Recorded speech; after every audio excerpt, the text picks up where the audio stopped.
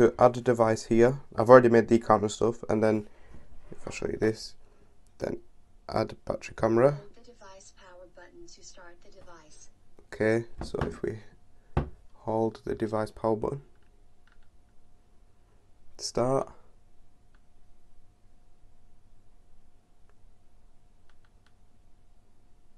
There we go. It's on now. Bit of a long wait to start it. Go next. Device by holding the reset button for 5 seconds. Okay, so we need For the indicator light to flash red. Okay, so we need to reset it, it says. Hold for 4 to 5 seconds and wait for the flashing red indicator light.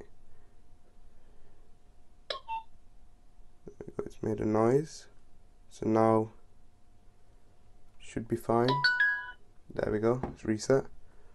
Select the 2.4 gigahertz Wi-Fi network and enter Okay. the password. Now I'll just quickly connect my Wi-Fi off camera. So Wi-Fi is connected. Now I just need to show the camera the QR code. So if I press next here, if I just do this,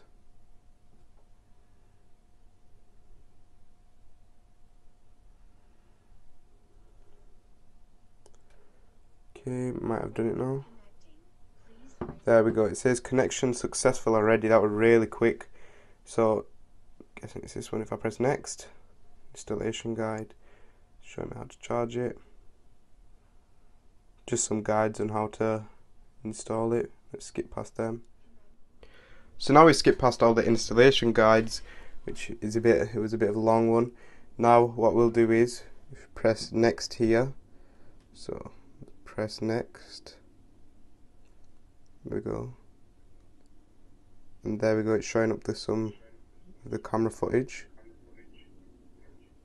Show that strong. Next. That's done.